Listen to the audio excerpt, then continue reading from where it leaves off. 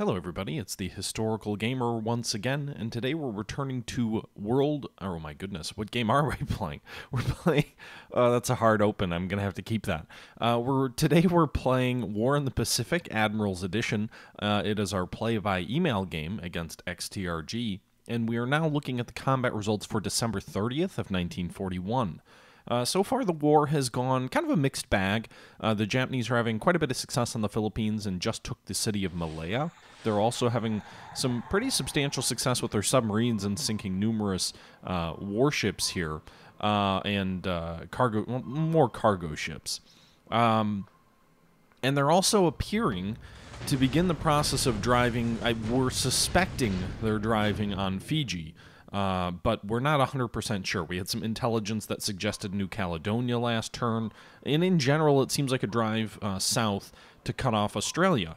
The interesting thing, though, is that uh, that drive is precluding a serious effort uh, at uh, moving on the Dutch East Indies. The Japanese just barely uh, took the northern coast of Borneo, or portions of the northern coast of Borneo, but they haven't made a serious play on Singapore. There was a major battle fought around Mersing uh, on the southern Malay Peninsula, uh, but that's kind of turned into a stalemate or a quagmire at the moment, and the Japanese have not yet uh, made a drive south. They really haven't made any progress moving south along the uh, Philippine or, or along the Malay Peninsula. They've they had a little bit. I think they took Georgetown last turn or two, but that's still way up north, and they really haven't started driving south. So overall, we're almost into January without a serious threat or even a formulating threat to Singapore at this time, which is good for us because we're in the process of fortifying the area. Uh, we have had several ships that have been damaged by uh, Japanese ships in a battle off Mersing. Uh, the Prince of Wales and the Repulse were both damaged uh, in a series of actions which resulted in the Japanese losing a battleship of their own. And there you can see the Prince of Wales is in the process of trying to pull out to repair in South Africa.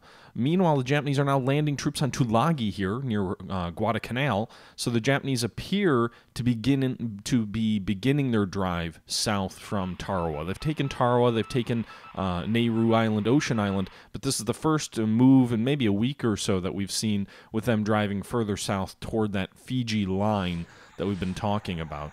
Uh, meanwhile, continued submarine actions off the coast of Australia. Looks like they may have sunk a large troop, or not troop transport, but a large cargo ship off the coast of Sydney.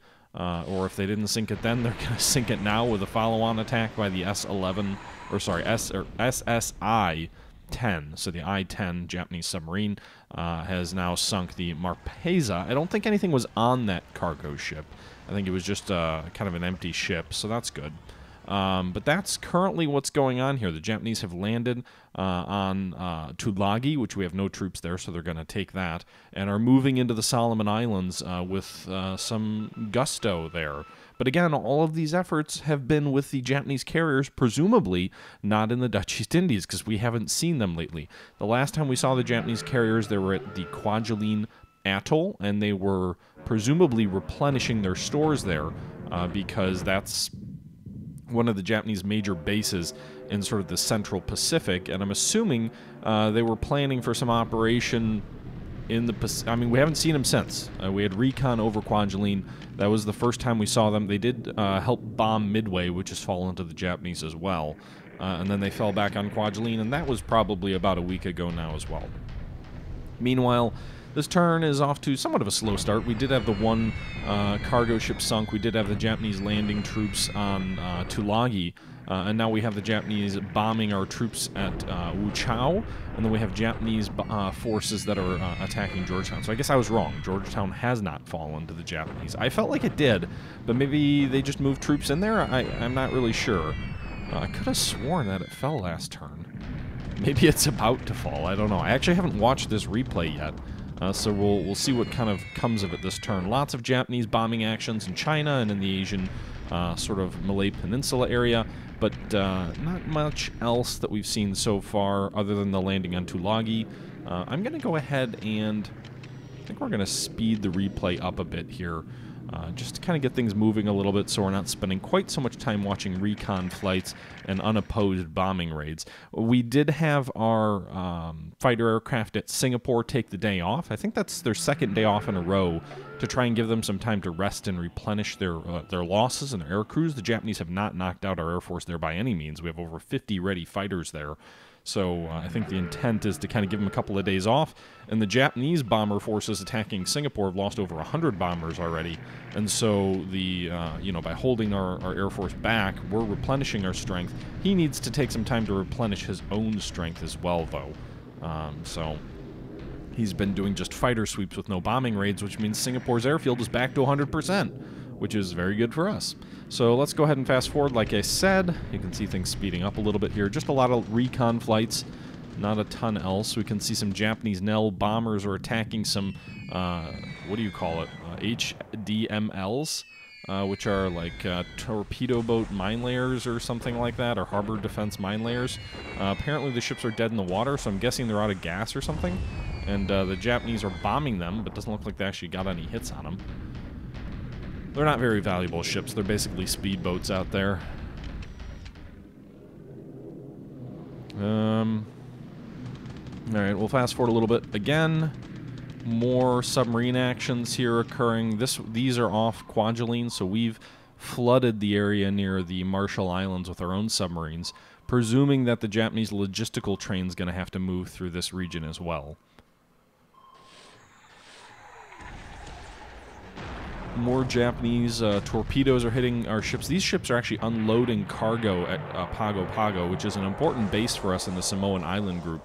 So that loss of that ship is going to hurt. It did have a destroyer escort, interestingly enough, and we did claim three hits. I don't know how real that was, but uh, looks like we just lost the Ruth Alexander. We do have one other cargo ship currently at Pago Pago unloading. Uh, there were no troops there, though. That was just cargo, so that's okay, I guess. And then we've got some uh, destroyers uh, or destroyer minesweepers uh, that are depth charging a Japanese mini submarine, an SSK HA 24. That's one of their midget submarines. And um, we've got uh, destroyers hitting that. One direct hit from a depth charge by the looks of it with heavy damage. That thing will probably sink. You don't generally see a lot in the way of uh, durability from midget submarines. Meanwhile, the Japanese are also landing on Shortland, so they really are going for the uh, the Som- uh. Oh my goodness, not Somal. The gosh, I'm having some. I'm on the struggle bus tonight, guys. I'm having some trouble uh, pronouncing words. They're landing in the Solomon Islands. Uh, Japanese deliberate attack here south of uh, Kaifeng. Um, huge odds there. Our lone unit there was destroyed. You can recall in China we've ordered the withdrawal from one of our bases there to fall back because it looks like the Japanese are going to try and flank us. Meanwhile, more combat at Wuchou. Mainly just bombardment attacks, so the Japanese didn't launch a deliberate there. Japanese are attacking Georgetown here, so I knew they had troops in Georgetown, and I knew that we wouldn't have enough to with, basically withstand any attack. So Georgetown did fall uh, this turn. So the Japanese drive south in the Malay Peninsula has begun, uh, although it's, you know, not a lot to write home about. And that's going to basically do it for this turn. Uh, so we'll jump back in once we can go ahead and issue our orders here in just a moment, but I'm going to cut away here for a second, and when we join you back, we'll be in our allied turn. Alright guys, not a lot going on this turn to be honest in terms of activities. We're kind of in a wait and see mode. Uh, I have done a couple of big things that I do want to call out first. We can see he landed here uh, on the short on Shortlands and he landed here on Tulagi, both with light forces. So the only two bases in the Solomons. They also are the only two, and, and I don't mean the only they're the only non-dot bases. So there's dot bases around here, but they're the only two fully fledged formed bases. Although both are pretty bare bones with level one ports and no airfields, so he's going to have to take some time to build them up. Uh, but he's landed at both Tulagi and Shortland, and uh, if I had to have a hunch, he's building a shield here to guard his flank because we saw another large unit here, and this is the big one near Duff Islands here. Uh, the Japanese carrier battle fleet, at least in part, has been spotted by recon elements. They're claiming they see three fleet carriers and a tender, a seaplane tender, which very likely could be a fourth carrier To me, what that says is the vast majority of the Japanese carrier fleet is here in the South uh, Pacific here, uh, well south of Ocean and Tar- Tarawa. And so, what I'm going to do is I'm going to launch that carrier raid that I've been talking about. I won't have the Yorktown because the Yorktown just came in to San Diego last turn. She left San Diego and she's on her way out of San Diego with the Phoenix uh, and the uh, Bagley uh, of the um, different uh, warships that are escorting her toward Pearl. So uh, Yorktown's going to be too far away to participate in anything. But what we're going to do is we're going to form three task forces, and the reason we're doing that is because Allied uh, carrier task forces with more than 100 aircraft at this stage in the war actually get a stacking penalty. So because the American carriers operated individually at this time. So what we're going to do is we're going to form up a task for three task forces around the Saratoga, uh, the Enterprise, and the Lexington. Uh, the Enterprise is going to kind of be the flagship of this uh, group of squadrons or group of uh, fleets. Uh, it's going to be led by William Halsey. Uh, the other carrier groups, the Lexington group, will be under Sherman Frederick, who is a very capable rear admiral. And then the Saratoga will be under Raymond Spruance, also a very capable rear admiral of World War II fame. Uh, he would eventually rise to be on par with Admiral Halsey in terms of his responsibilities. So Vice Admiral Halsey is going to lead uh, these three carriers west. They're going to pass just south of Johnston Island, and then they're going to move just a little bit east of Kwajalein and see if they can bomb the hell out of Kwajalein uh, and maybe do some damage, maybe sink some ships. We'll see. That's the tentative objective. Based on how things unfold in the South Pacific, as more information becomes available about the Japanese carriers, we may divert our carriers north to Wake Island. But for the time being, we are going to move them toward Johnston Island. The reason for that is if we moved them north toward Wake or, or Midway, they'd much more quickly be discovered by the Japanese and they'd be a little bit more isolated. There's actually a little bit of a corridor they can pass down here in relative safety uh, in the Johnston Island area. So that's going to be my plan is to advance west. Uh, it's going to take a couple of weeks or a couple of days, not a couple of weeks. So day one, we'll get to about here. Uh, that's what one, two, three, four, five hexes.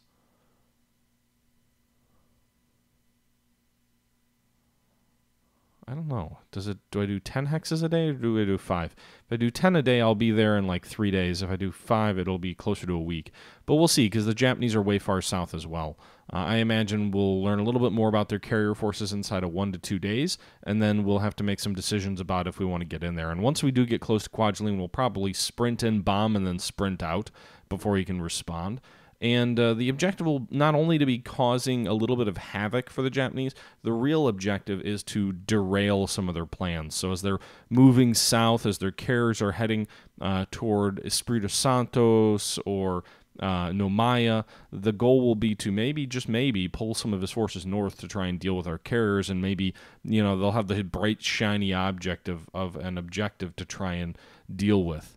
Uh, to that point, we're also starting to pull some of our, our ships away. So I have the Indian Brigade is being ordered to unload at Koumac, Koumac, mainly because of the proximity of the Japanese carriers. I want to drop these guys in one or two turns and get them out of there before the Japanese attack. Same thing, orders are being issued to all the troops at Noumea to get off the ships as quick as they can, and then uh, the ships that are already empty will be sprinting back to Australia.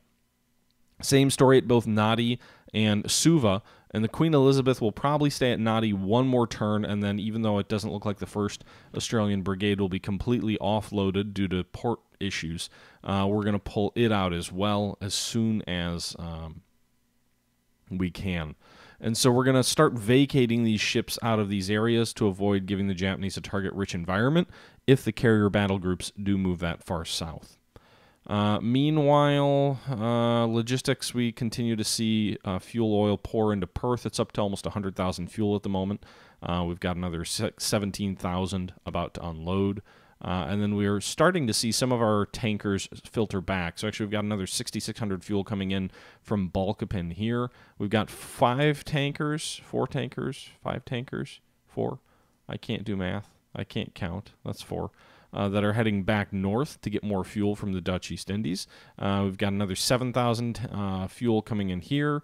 Uh, about uh, these guys are all going to uh, the west. There, they're going to um, off map toward South Africa. Uh, and then we've also loaded up additional fuel on some some new tankers here. We've got 9,700 on these fleet oilers and tankers that were just loaded up at Oosthaven, uh, and we've got uh, some 30,000 on some tankers which just loaded up at Balkapin.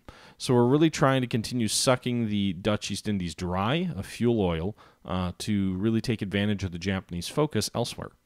Meanwhile, uh, at Mersing, uh, the what is it? Uh, Fifth Field uh, Regiment of Artillery has arrived, and uh, we're struggling to get adequate supplies on all these units. So I'm really kind of holding off from attacking much in the way of anything.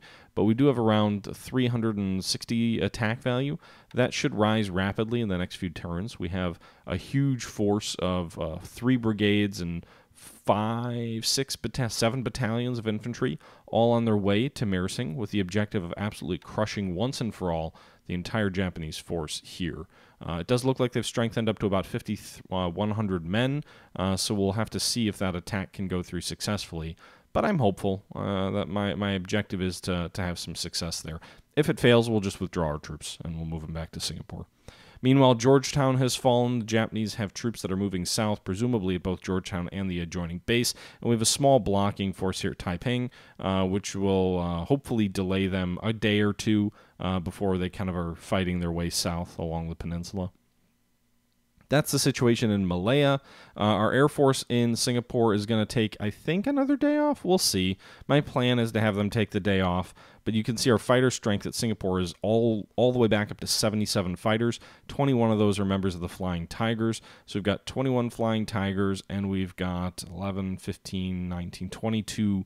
Uh, sorry, uh, 20 and we've got 19 P40s and we've got 21 Flying Tigers so that's about 40 modern fighter aircraft 37 Buffaloes. We're going to take one more day off and get more of these aircraft uh, replenished and back into action. Maybe we'll have around 85 aircraft ready uh, to uh, try and engage with the Japanese in the next couple of turns.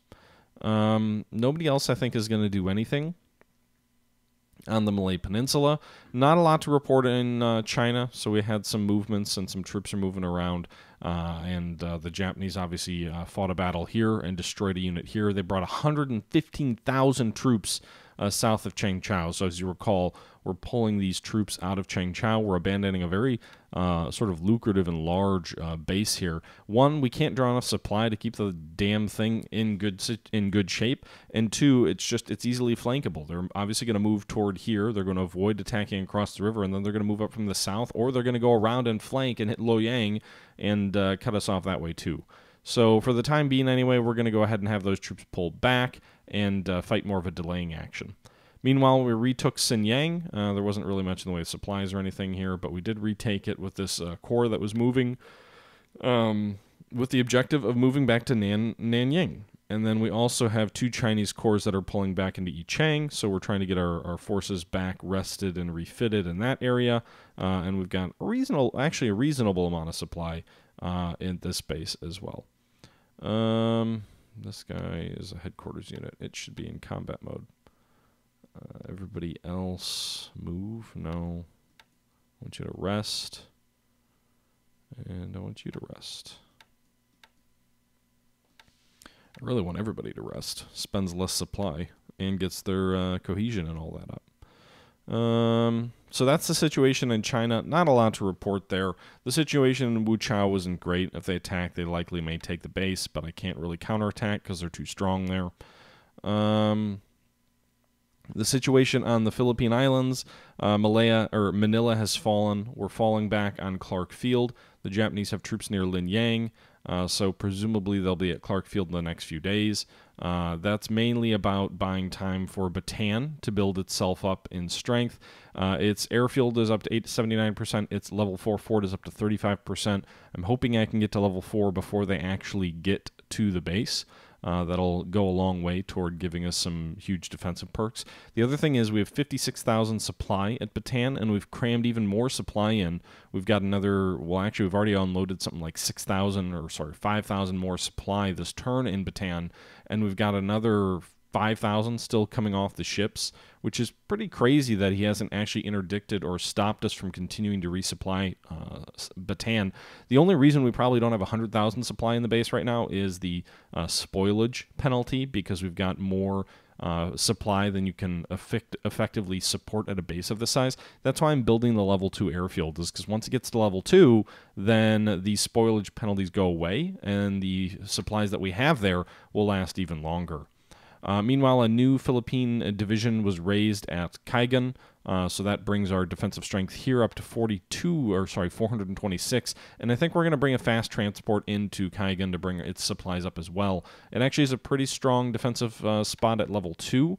And I'm also going to bring in some supplies to Cebu. I'm more worried this will get interdicted just where we've seen Japanese aircraft, or sorry, ships but um, it's already a level 2 fort up to 50 uh, toward level 3 it's a small little island it's hard to get to and it's got over 100 uh, defensive bonuses as well as some american troops there in the base force so i want to try and reinforce that and see if we can hold there as well uh, none of these are intended to be long-term holding actions we know we can't do that it's more about sort of short-term delaying actions um, that's the majority of this stuff. Prince of Wales is still over here. She's uh, taking a bit more damage. She's up to 59 floats, so we're slowing them down to mission speed.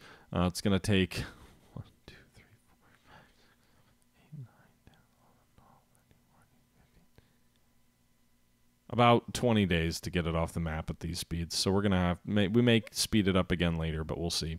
Meanwhile, the uh, Repulse is about nine days away at its current pace from Cape Town, where it'll start to repair as well. Um, I don't know why, but for some reason, the uh, troop transports that we had going toward Pegu actually pulled out of Pegu and started moving back toward uh, Tigilap. I, again, I don't know why, but there are some British infantry brigades here that we're going to move back into Pegu to strengthen ourselves in Burma. And that's kind of the situation right now. Again, we've got troops that are coming ashore here at Fiji, at Noumea, at Koumac. We've got a bunch of ships around those regions. We've got a whole bunch of supplies that are on the way. We've got a Marine battalion on the way to Pago Pago. We've got a bunch of fuel coming in. We're also uh, diverting one, just a lone tanker here of 14,000 uh, fuel uh, which is going to be supporting these fleet operations that are moving west. That 14,000 fuel should be more than enough given the range of where these particular bases are in the Marshall Islands. So it's going to be providing fuel and tanker support uh, as necessary to those vessels to keep them operating. Continuing anti submarine operations around Pearl Harbor, the battleships are pulling out toward. Uh, uh, at least some of the battleships are pulling out back toward the east coast for better and more effective repairs. Uh, and the Yorktown is over here. I may, have, I may have already shown this, but the Yorktown, the Phoenix, and the Bagley are on their way to uh, Pearl Harbor. So that's the situation right now. That's what occurred. We'll take a real quick look at our uh, intelligence report. Japanese, zero air to air. We lost zero air to air, zero destroyed on the field on both sides. Three Japanese destroyed by flak. Two ops losses on their side, three on our side. So pretty light day, the lightest air day in quite a while. Um, nobody lost in any meaningful aircraft. We did lose one Catalina, but that's it. Um, Meanwhile, that means we also lost no pilots killed, so we still have our three aces. We lost one wounded in action, nobody killed. Um, ship sunk last turn. We claimed the midget sub that we saw there. Uh, we also lost the Dutch uh, transport, or sorry, cargo ship, the Mariposa, and we lost the American cargo ship Ruth Alexander to Japanese uh, submarines. Um, in terms of ship availability, uh, we've got uh, the Yorktown just arrived. So if we're looking at, let's take a look here. If we're looking at carrier availability, uh, we won't get any carriers in, for another about two and a half weeks, and then the Japanese or the British carrier Indomitable, Indomitable will arrive off map at Aden. Uh, meanwhile, in about two and a half months, we'll get the Hornet, uh, and about the same time, we'll get a second uh, British carrier in the Formidable. Those will be our final carriers until, well, about four months, so about 120 days away. Uh, actually, further, eh, no, it's about 120 days away when the next uh, British carrier, the Illustrious, will arrive, uh, which would then be followed up in June by the Wasp. But the Hornet's the last American carrier we're going to get for about six months, and that arrives in about two and a half months. So uh, that's something to look for. It'll arrive in Eastern America in 70 days. Um, in terms of escort carriers, nothing for a while, nothing till May. In terms of battleships, We've get we get the Royal Sovereign at Aden with the uh, Indomitable in about 15 days. We get the New Mexico, Mississippi, and Idaho all in about a month at San Francisco. Uh, and then the British get three battleships at Cape Town in a little below, about a month and a half, uh, and then nothing till the middle of the year when the North Carolina arrives. Heavy cruisers or light cruisers. We've got the light cruiser Emerald, which will arrive in Mombasa, which I think is in Madagascar, uh, in nine days. The Dorch- or the Dor Dorshire, Dorchester, uh, will arrive at Cape Town in about two weeks. Uh, the Sumatra will arrive in Surabaya in about a month. Uh, the Nashville at Balboa in about a month and a half. And the first anti aircraft cruiser, the Van Hem- Hernix, will arrive in about uh, oh, just shy of two months, followed by the Vincentes and the Newcastle and the Devonshire, uh, and then the list goes on. Um, anything else worth calling out? I think we've got some subs that'll be arriving soon. Uh, the first British sub, the Trusty, will arrive at Aden tomorrow. And I think that's about it for that. Uh, ground units destroyed. You know, we've lost some. The most impactful was the FMSV, uh, which was the uh, at uh, Hong Kong. It was a very good quality uh, unit. Um, but other than that, nothing. I don't think lost this last turn. Oh, we did lose the uh, Penang fort. We can't recall them though. That's a fixed unit. Um, but that's all the ground units we lost that turn. Uh, ground reinforcements. Take a look. It looks like we're going to be getting the Second Royal Tank Regiment uh, at Aden, uh, which you can deploy to Burma. It'll be consisting of some 42 Stuart light tanks and some infantry. That's actually a pretty good tank regiment. The 1st Marine Raider Regiment will arrive in about a week in the eastern U.S. Uh, Pacific Fleet headquarters, so we can move it around as we see fit. And then we've got a troop convoy, or a convoy, sorry, of some kind, a merchant convoy, arriving at uh, Cape Town in about a week as well. Uh, new Chinese corps showing up in 10 days in Chungking.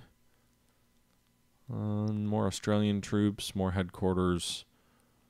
Yeah, we don't really see any really big units. This first, the 16th Australian Brigade, that's going to be a good one. AIF infantry sections.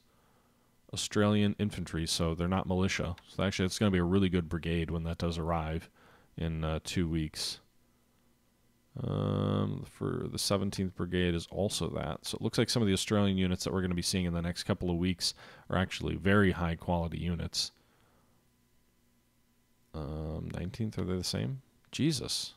I'm finally going to be getting some non militia troops. That's exciting. And a lot of them are coming in at Aden, so it looks like they're probably being pulled out of the European theater.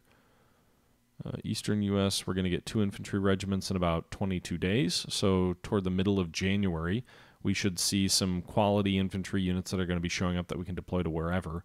A tank battalion, two infantry battalions. Um, and that's kind of the, the bulk of it, at least till we get a month out or so. We're going to start to see some Indian units arrive as well. So that's the uh, ground units. That's the air units. Um, actually, I didn't look at the air, air units, did I? Uh, Group reinforcement. We're going to get 16 Kitty Hawks in Canada. That'll be nice. Those are P40s. And then in uh, four days, we're going to be getting uh, multiple groups of P40s, but they're all attached to Eastern uh, USA headquarters, I'm assuming. Second U.S. Fighter Squadron. Maybe we can actually use them. I'm not sure. So we're going to be getting about 80 uh, Warhawks that are going to be arriving here in four days. Yeah, I don't know. Uh, looks like some P40s are going to be showing up in Brisbane as well. So we're going to be getting three squadrons of P40s in Australia for free without having to transport them. So that'll be nice.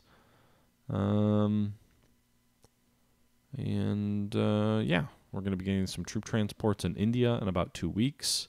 Some sky trains some Blenheims and Aden, some Hurricanes. We're going to get three Hurricane squadrons here at, at Aden here in the next two weeks as well.